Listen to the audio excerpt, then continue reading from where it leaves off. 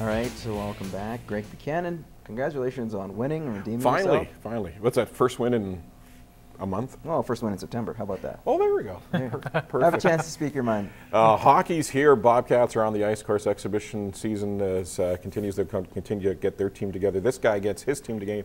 The other two, the Baker Hughes Midget Bobcats, are on the ice uh, tomorrow, Wednesday, Thursday, Friday, Saturday. Inter squad game on Sunday, and the Lloydminster Bandits. My team opens up their training camp Friday the 13th.